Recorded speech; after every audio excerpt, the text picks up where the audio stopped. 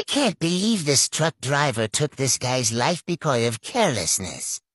A witness stated that he was speeding prior to the collision.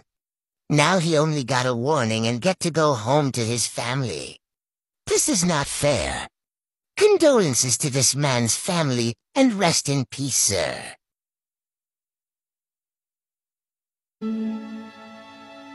Lift me up.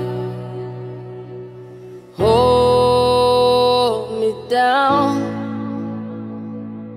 Keep me close. Safe and sound.